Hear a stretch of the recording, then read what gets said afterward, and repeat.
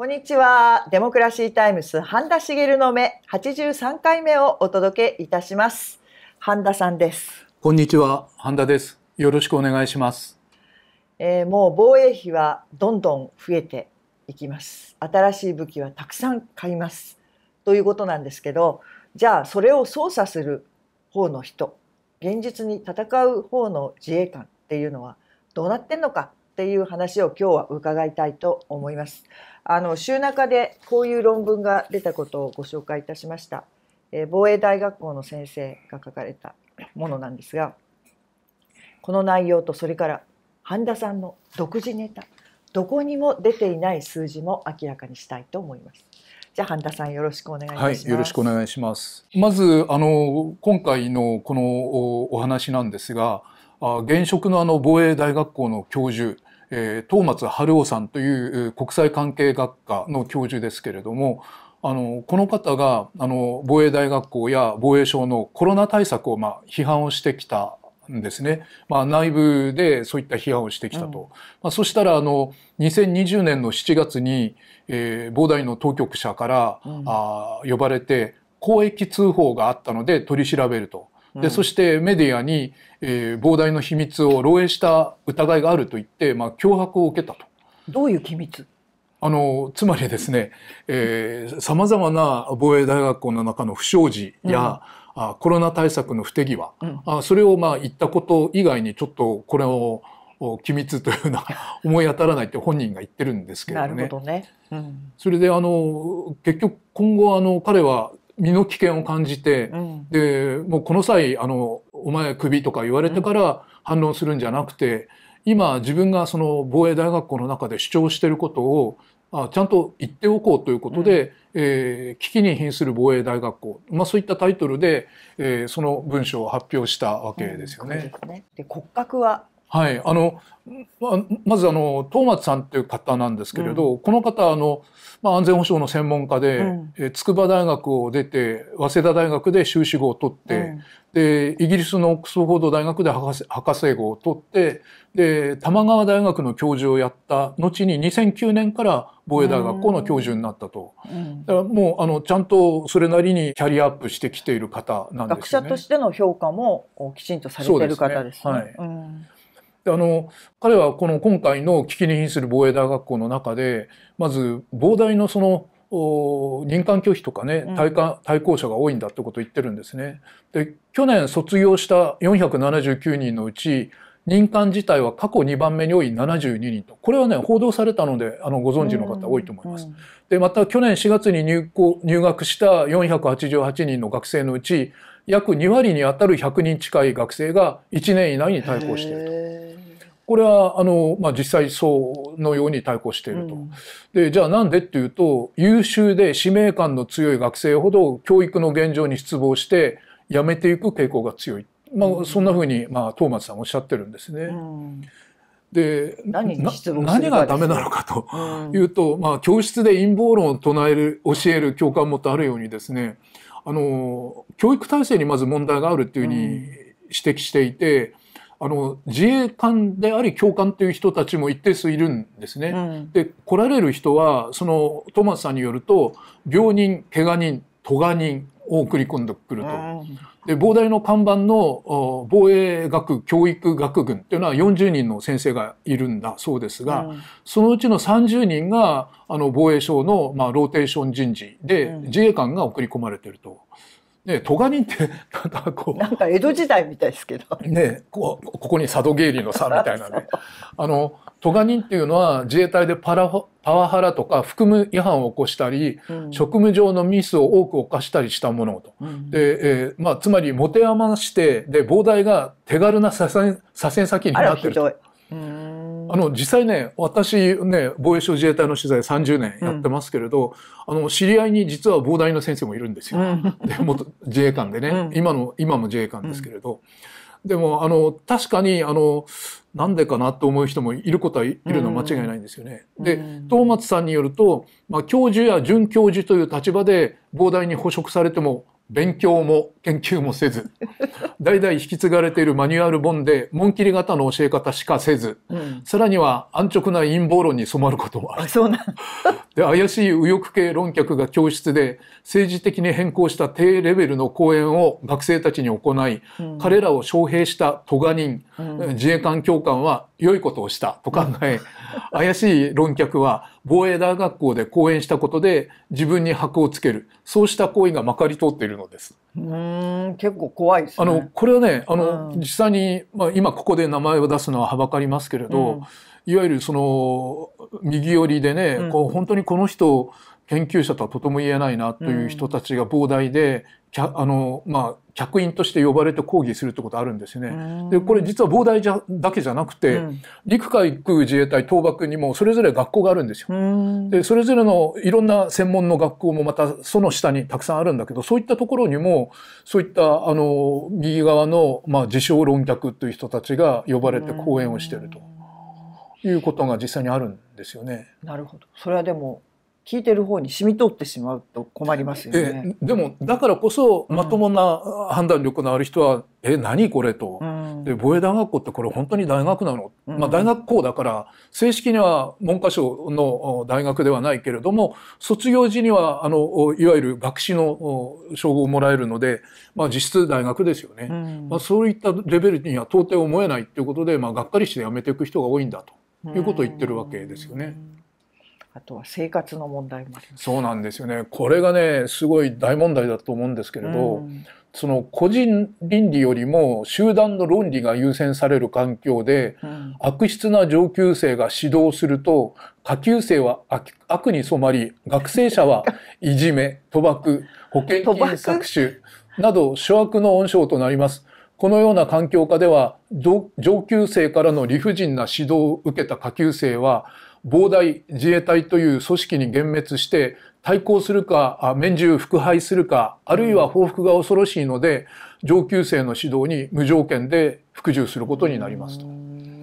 うんでこれあの防衛大学校の場合には1年生から4年生までそれぞれ2人ずつ行って8人部屋なんですよね。その8人部屋の中で、まあ、まあ、この非エネルギーがあって、4年生がトップと、うん。で次が3年生というふうにこう順番に並んでいて、うん。まあ、1年生はまあ奴隷みたいな扱いになっちゃうと。うん。あの、えーこれ、ままあ、裁判で争われてる、あの、防衛大学校を辞めざるを得なくなった、あの、元防衛大学生が裁判やってますけれども、その、どんなにひどいかっていうことがいろいろもう明らかになっていて、えーその、例えばですね、その、お罰として、えー性風俗店に行って、えー自分が性行為をしているところを動画で撮ってこいと。で、それを撮ってきたのを受け取って、えー SNS に流したりね。あるいはその陰謀ライターで焼いたりとかね、も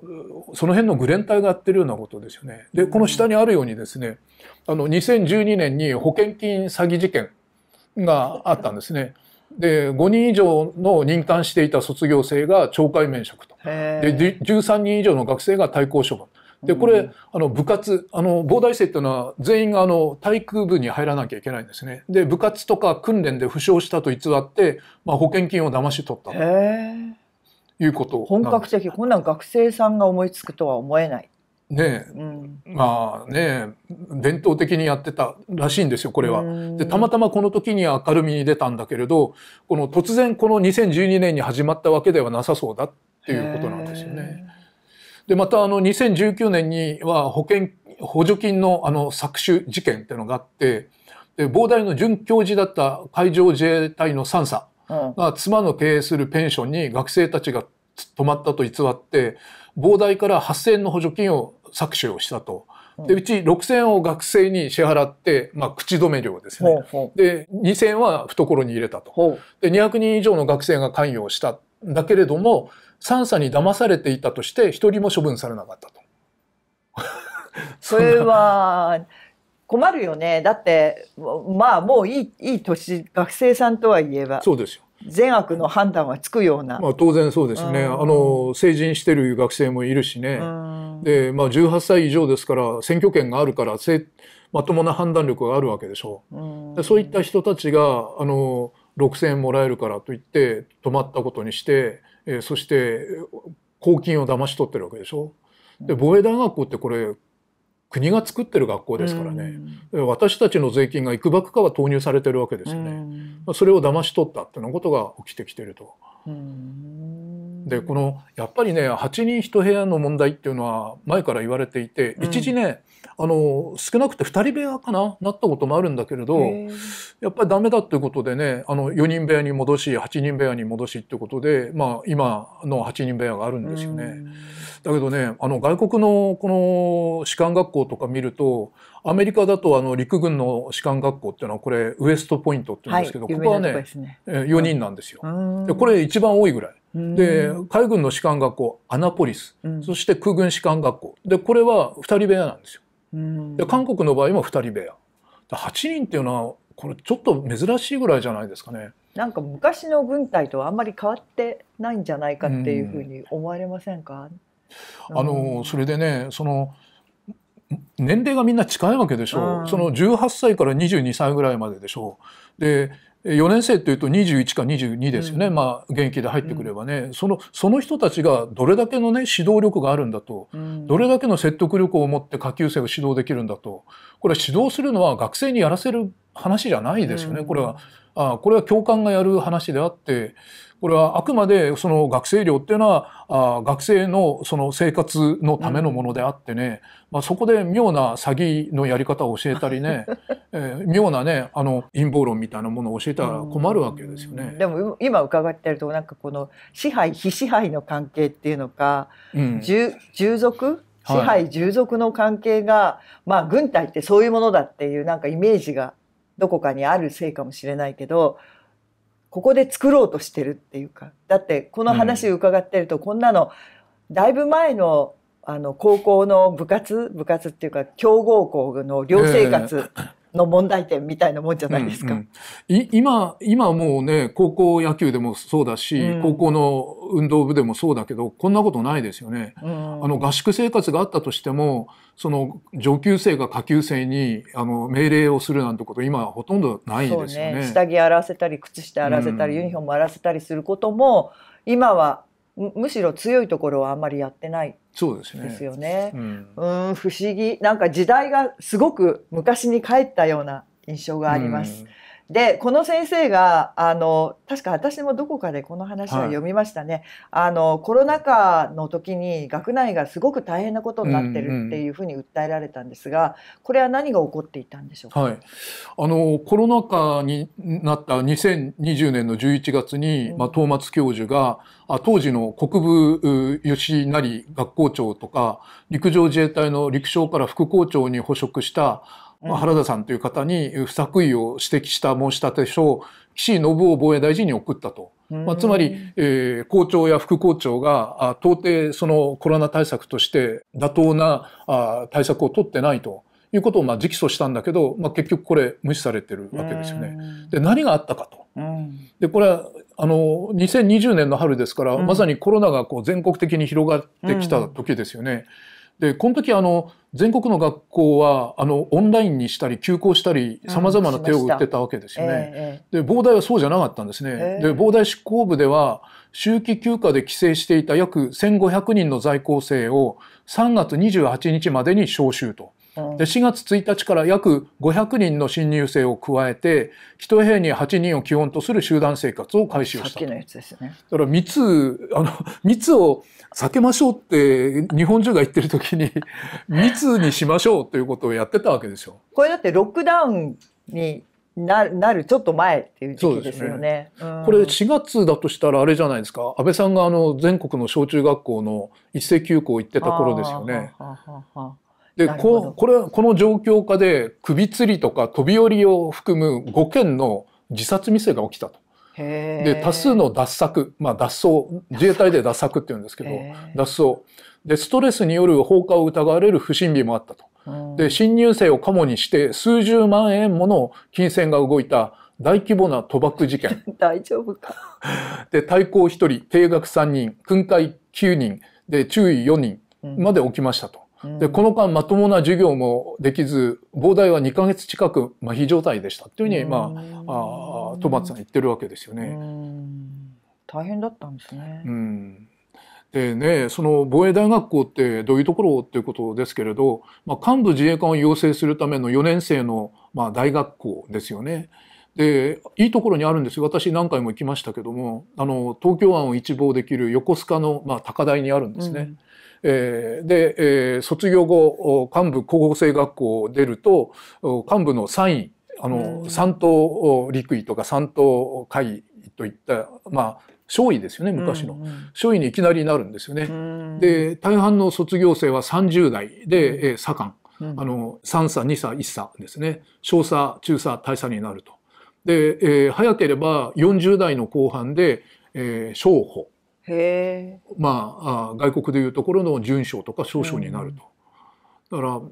あのもちろん防衛大学校だけでは幹部自衛官の数が足りないので一般大学校からも幹部候補生学校には入るんですよ。で実際あの幹部候補生学校に入る学生の数でいうと一般大の方があの海空は多いんですね。自衛隊全体でいうと大学での人の方が防大生より多いと。だけどもあのねこの間まで陸上幕僚長だったあ吉田さんという方が初めて東京大学を出て幕僚長になったと。であの1990年代の初めの頃からあ今2023年まで、この30年間というものこれ膨大生以外の陸海空幕僚長っていうのは吉田さん以外いないんですよ。えーだからつまり一般大の方が人数は多いけれども、うん、幕僚長には絶対なれないと。そういう意味では膨大罰っていうのがあるわけですよね。まあ、それだけ、まあ、あの身内の結束が固いと。でね彼らどういう生活してるかと、うん、言うとあの6時にラッパの音で 一斉起床と。で5分で信号を片付けて着替えを済ませて学生車前に整列、うん、で朝の人員を確認をすると、うん、逃げてるやついないねっていう。で、6時35分に朝食。で、8時10分に国旗掲揚朝礼。うん、で、家業更新。あの、膨大の場合はですね、あの、全員並んで教室に行くんです。ザッザッザッザッというふうに更新をして。一般の大学みたいにわらわらわらわら。ららない。全員が更新していく。だから壮観ですよ。夏は白服だし、あの、秋冬は紺色の服で行くわけですよね。で、12時に昼食。で、鍵を更新してまた教室へ行くと。なるほど。で、えっ、ー、と、17時15分に家業が終了して、えー、国旗を降下、うん、そして部活、ささらに入浴と。で、18時15分に夕食、で19時35分に点呼。で、その後自習をすると。で、22時30分に消灯。で、翌日また朝6時にラッパで起きると。まあ、これの繰り返しですよね。これを4年間やるわけですね。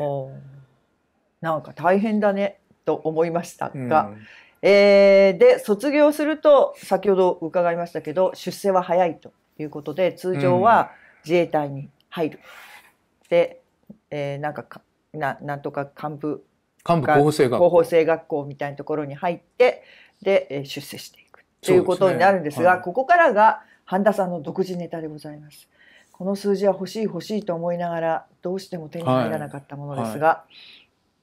まずですねちょっと表の見方をお伝えしたいんですけれどもあのままずあの防衛省は在校中と卒業後の早期退職状況これまとめて一覧表作ってるんですね。うん、で入学者数を A として、対抗者数を B とすると、うん、で卒業者数を C として任官辞退者数を D とすると。で、さらに早期退職者、これを E とするんですが、これは幹部候補生学校に入らないまあ、つまり、えー、任官はしたんだけれど 幹部候補生学校に入らないで辞めちゃうかあるいはあ入った後に、えー、8月末までに、まあ、これはボーナスが出るのでそこで辞めちゃうか。はい、あなるほどで、えー、これらをこう集計してるわけですね。うん、で重視してるのは入教入校しながら自衛隊に定着しなかった学生の数で、うん、えー、B プラス D プラス E と。防衛大学校を対抗した人はい、それからあ任官を卒業したけど任官を辞退した人、はい、それと一旦自衛隊に入ったけれどもすぐに辞めちゃすぐに辞めちゃった人を足したものってことですね。そうなんですね。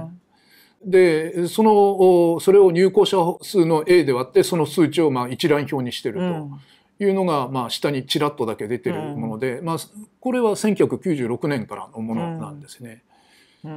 でそれでですねそのこの資料自体をグラフに置き換えたのがこれなんですね。うんうん、これはあの私があの一覧表から独自に作成をしたものなんですがこれあの退職者像つまり、えー、途中で学校辞めちゃった人、うん、任官しなかった人、うん、任官したけどすぐ辞めちゃった人、うん、この3つ合わせたものを退職者というふうに言っているんですが、これあのこれまで見ると3つの山があることがわかると。本当にはっきりわかります。ですよね。であの2003年から2009年、これはイラク派遣があった時ですよね。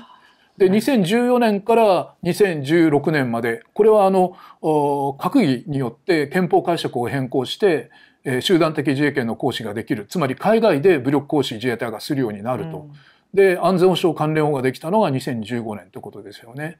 で一番最近の山これ今年と去年が一番高い山になっていて、うん、でこれ何かと去年はもちろん敵基地攻撃能力の保有ということで、うん、専守防衛からの逸脱を閣議で決めた。で、そして今年もその傾向が全然止まっていないということなんですよね。だからこれ見ると分かるように政府の安全保障政策が変わるたんびにこの身に危険を感じた防衛大学生あるいは防大の卒業者たちが自衛隊を拒否、まあ、忌避をしているということが分かるんですよね。要するにこのイラク派遣の時っていうのは、うん、日本が初めて海外に自衛隊を出して、はい、まさにまあ隠されてましたけれどもあの弾が飛んでくるようなところにで,、はい、で活動しなきゃいけなくいけないっていうことが、うん、まあはっきりした時期ですよね。それから安保法制は具体的に何かあったわけじゃないけれども、うん、この後日本日本を守るために日本国内でっていうのではなくどこかよその国に行って戦うことになるかもしれないよっていう時期。そ,、ね、それで今回はもうちょっと切迫して、うん、えー、もしかしたらあのアメリカとともに、うん、えー、まあ、日本で戦うというよりもどこか行って、うん、知らない人を撃ったりしなきゃいけなくなる可能性が高まってきたよっていうこういう時期になってそうですね。で要するそうすると防衛大学校に入る人たちの気持ちとして、はい、うん具体的に戦場日本以外のところの戦場に出かけていって銃を撃つっていうことが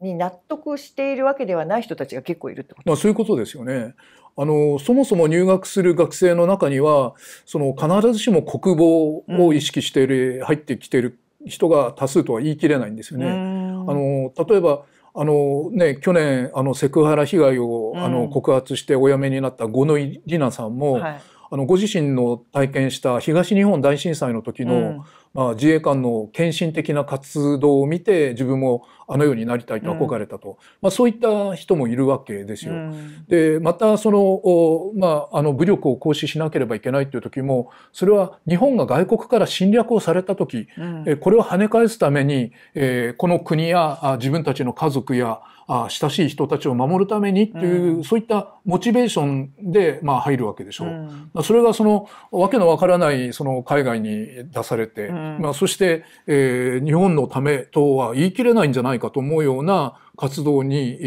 ー、先住させられるかもしれないと、これは何か変だなと。でさらに言えば身の危険を感じざるを得ないなというふうになってきたということで、まあ、辞める人が増えたと。そうですね。で具体的に花さんも経験のある、はい、私も、えー、イラク派遣についていって、まあ、取材をしてましたけどねあのこれ毎年ね大体辞める人っていうのは100人とか110人ぐらいなんだけれど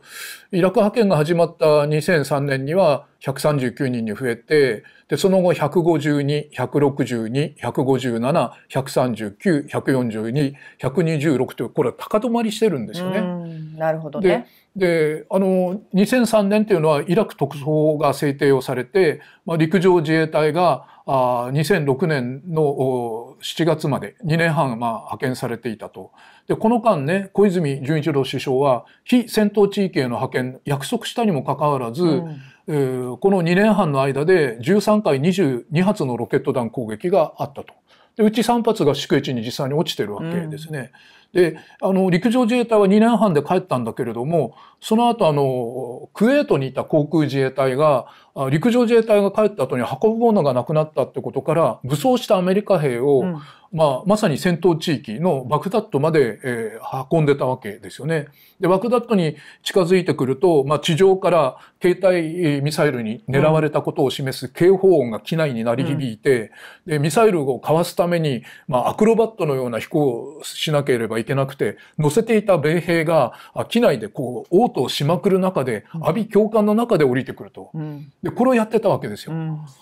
で、これが2008年の12月まで続いたと。自衛隊、陸上自衛隊よりずっと長かったんですよね。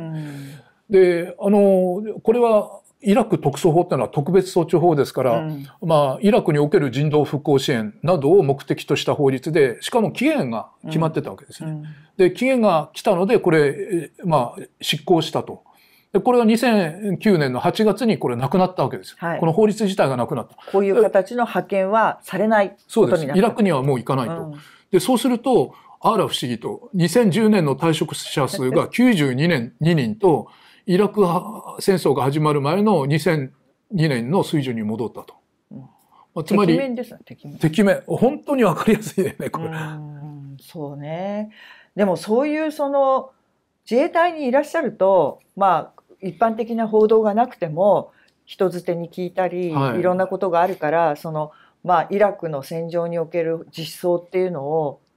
まあ、分かるわけですよね。いや当然あの防衛大学校の中にいても、うん、まあ、教官はさっきお話したような自衛官の人たちもたくさんいるし、まあ、幹部構成学校に入れば、もっと実践的な訓練が増えていきますから、うん、そこでもいろんな情報に接することができますよね。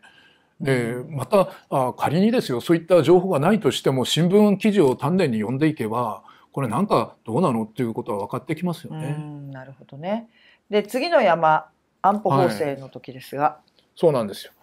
で2014年、まあ、つまり、えー、14年の7月1日に安倍政権が憲法解釈の変更をしてえー、これまで憲法上行使できないとしてきた集団的自衛権の行使を、まあ、条件付きで解禁したわけですよね。で、これで自衛隊は、あこの国内で戦うだけじゃなくて、えー、海外に派兵されるということになったということですよね。うん、で、そしたら2014年の退職者が143人と。で、前の年106人ですから、一気に40人近く増えたと。で、2015年には157人。で16人140人となったわけですよね。でこの流れで見ると14年には閣議決定で15年9月にはこの閣議決定を法律に落とし込んだ安全保障関連法が制定をされてで16年の3月から施行されるようになったと。で、イラク特措法ってのはこれ期限が来て消滅したのに対して、この安全保障関連法ってのはこれ高級法ですから、うん、隊員は危険危険な任務と、まあ、常に向き合うことになると。今までとちょっと状況が、ステージが変わったなっていうのが、この安全保障関連法ですよね。なるほどね。で、えー、この2年間についてはこちらですかね。はいそのついにね、まあ、過去最悪の退職者像を迎えているのが今と。うん、で去年の12月16日に岸田政権が専守防衛の否定につながる敵基地攻撃能力の保有をこれは閣議で決めたわけですね。うん、ですると退職者数が過去最多の166人となったと。でうち任官辞退者が72人というふうに過去2番目を記録をしました。でこの傾向は今年23年も続いていて、6月21日現在ですでに165人が対抗退職をしていると。あの、165人が対抗退職したっていうのは、つまり、えー、学校から辞めた人、うん、そして任官拒否した人、うん、それと4月に卒業した後に5、6の間に辞めた人と。で、5、6がね、結構何十人も辞めてるんですよ。だから、それはやっぱりこのね、あの、専守防衛じゃないんだなと、これから海外で戦争するんだねと。で、それは安倍さんの時にもそうなったけれども、実際にあの時ってね、あの、敵基地攻撃できるできないっていうのはできない話だったわけじゃないですか。うんうん、海外で戦争するかもねっていうことだったんだけれど、今回は自衛隊の武器が長射程化したり、護衛艦出雲型を空母化して海外に出ていくってことが明確になってきたわけですよね。うんだからこれでまたさらにステージが変わったっていうふうに、うん、あの膨大生には見えるんだと思うんですよね。なるほどね。でね大事なのはね膨大生って、うん、まあこれ幹部を養成する学校なんだけれども幹部の役割っていうのは部下に対して命令をする立場でもあるんですよね。そうですね。そうだとすると、自分が危ない戦地に派遣をされるだけじゃなくて、部下にも、これは無茶な命令を下さないといけないかもしれないと。まあ、そうだとすると、あの、真面目でね、良心的で、えー、あの、ちゃんとした学生ほど、これは俺にはできないなということで、やめていくっていうことを選んでるんじゃないのかなというふうに思うんですよね。なるほどね。いや、これはだけど、このまま続けば本当に、どんなもどうなんだろうかとこのまま自衛官になってそうなんですよそれでしかも幹部になって作戦を考えたり、うん、だからその時に部下を失うかもしれないってことも考えなきゃいけないってことでしょ？そう、ね,、そういうことに耐えられない人は増えてくるそういうことですね。そう防衛大学校を受験して入ろうっていう人も減ってくるのかな？いやそうですよ。あの受験者がものすごく減ってるのも事実なんですよ。防衛大学校ってあの毎年のね大学の入試っていうのはその年の1月2月3月にあるでしょう、だけど前の年にあるんですよ。だから腕試しのつもりで受けて、うん、でその後その落ちちゃった、うん、他の第一志望が落ちたから防大入ろうっていう人もいたんだけれど、うん、それでももう母大入らないっていう人も増えてきていると。そもそも腕試しなんかやって、えー、声かけられちゃったら入らなきゃいけないかもしれないからやめようみたいなことになってると。でこれあの防衛大学校だけじゃなくてあの前にねあの岐阜県でしたよね、はい、あの小銃の乱射事件を引き起こした自衛官候補生がいましたよね。今ああいったそのいわゆる任期制の単位の場合も、まあ、募集がかけてもなかなか来ないと。うん、でだからこそあの今までねあの26歳だった採用の上限年齢を32歳に引き上げて、うん、なるべくこの分母を広げれば何とかなるんじゃないかって考えてるわけだけどもだけどもその下も来ない。で膨大からも逃げていっちゃう、うん、これもうどうにもなんなくなっちゃう。わけですよね。そうか、うん。まあ、それ岸田さんとか分かってるのかな？武器だけでは戦えないというそうなんです人が大事なんですよね。これはどこでもどんな社会でも一緒だと思うんですけどねその物が揃っても人がいなければそれは組織として回らないですよね。で最後のまとめのところですがこの憲法解釈を一方的に変更して、守る自衛隊から戦う自衛隊に変えたのは政治であると。で台湾をめぐる米中の対立が懸念される中巻き込まれを意味しかねない他国への攻撃も解禁をした。で東松教授の内部告発を生かせず防衛大学校の改革が進まないまま閉塞状況が続けば自衛隊忌避の流れは止まらない。で、同時に進んだ自衛官の安全を無視した安全保障政策の変更により、膨大の学生たちが自衛隊に定着する日はさらに遠のいたと言えると。いうのが、まあ今日の私の結論なんですね。どうでしょう皆さんなんかどんどん悲惨な状況になるのが目に見えるようなんですけれども、うん、まあでも日本の防衛政策全体をどうするのかっていうことを考えないとここを担っていく自衛官の人たちをどういうことを教えてどういう感性の人を育てていくかってことも決まらないわけでしょ。うんあのね、少なくとも憲法第9条の2項は、戦力は持たないっていう、そういった決め事が書いてあるにもかかわらず、うん、まあ、敵基地攻撃をやるんだと、それに使うための長い射程のミサイルを国産で作ったり、アメリカからトマホークを買うんだって、どんどんその前のめりで進んでますよね。もはやあの憲法の制約とか、あ日本の立ち位置なんかどうでもいいんだと、うん、とにかく強い自衛隊を作ればいいんだと、うん、で防衛費も倍増すればいいんだ、まあ、非常に乱暴な決めを閣議だけで決めてるのが、まあ、岸田政権ですよね。うん、だけども実際のところその自衛隊という組織自体がもう足元がぐらついてるってことをちゃんと見据えていかないと、これいざという時にこれ何の使い物にもならないだろうと。あの普段のね災害派遣であの活躍してくれるのは本当に頭が下がるんだけれども実際に今政府が考えているのは国民を救うことじゃなくてアメリカの戦争に追従していって場合によっちゃあ起こさなくてもいい戦争の中に巻き込まれていくっていうようなことを考えていやしませんかと。ちゃんとあの我々日本人そして自衛隊のことも考えてほしいなというふうに思いますね。なるほど。ということですぐには解決できなくてすごくすごく深い問題だと思いますがこのトーマツ先生の、ね、問題提起っていうのは受け止めて考えていかないといけないと思います。えー、また独自ネタを半田さんからは伺いたいと思います。今日はどうもありがとうございました。ありがとうございました。